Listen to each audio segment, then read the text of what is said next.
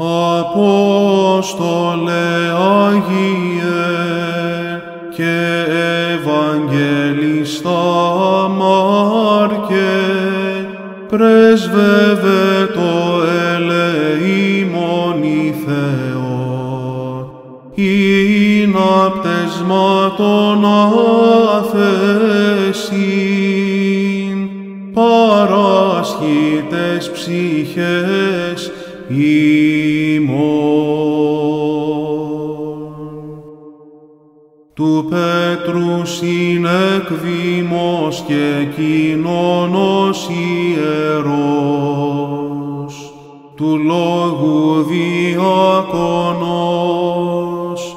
και υποφήτης σοφός, εδείχθης Απόστολε,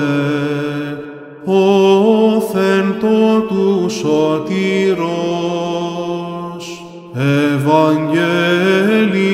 Θείον, Μάρκε δια χαράτης, ως ουρανίος μυστής,